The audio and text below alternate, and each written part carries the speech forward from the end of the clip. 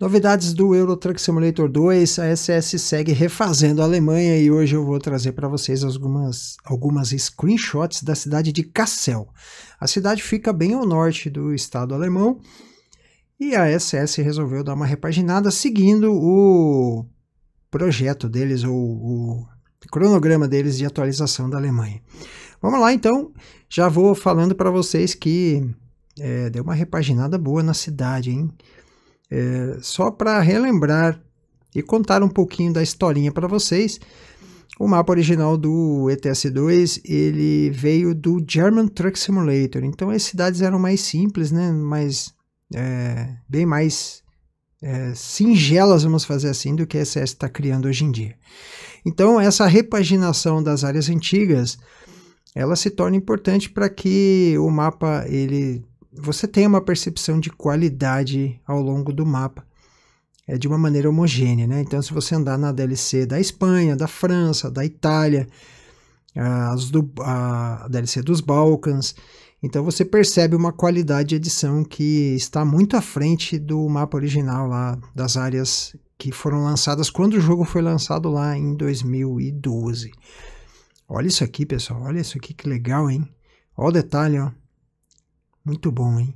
Então a SS segue fazendo atualização. Olha, caramba, aqui, ó.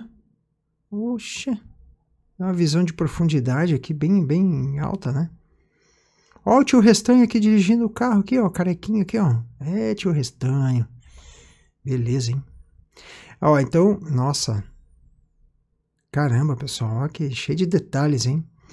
Então, a cidade de Cassel está sendo reformulada Olha, bacana, hein? Nossa, é.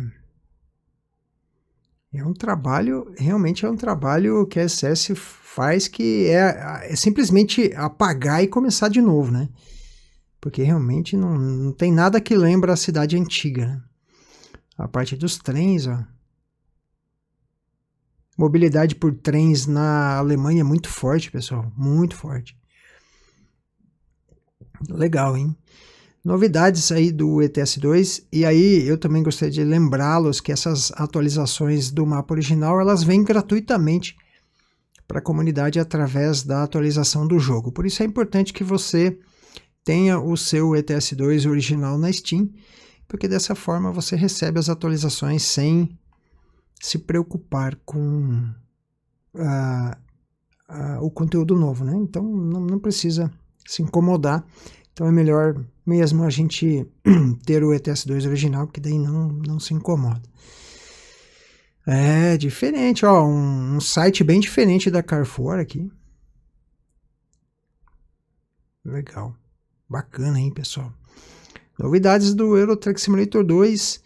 É, estão, nós temos duas DLCs que estão em andamento né, de construção. Olha que legal a garagem, onde é que ela está, numa região mais afastada da cidade, ó, interessante. A DLC da Grécia e a DLC dos, das paisagens nórdicas. Então, fiquem ligados aí nas novidades. Olha que cargona legal, hein? Perigosa essa carga. É, vamos lá, vamos ficar antenados aí nas novidades do Euro Truck Simulator 2. DLC da Grécia que eu acho que vem esse ano ainda, hein?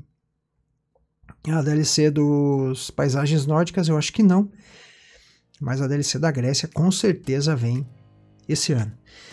Fechado, meus queridos. Um grande abraço para vocês. Eu vou ficando por aqui. Espero que você tenha gostado das novidades. Abraço. Fui.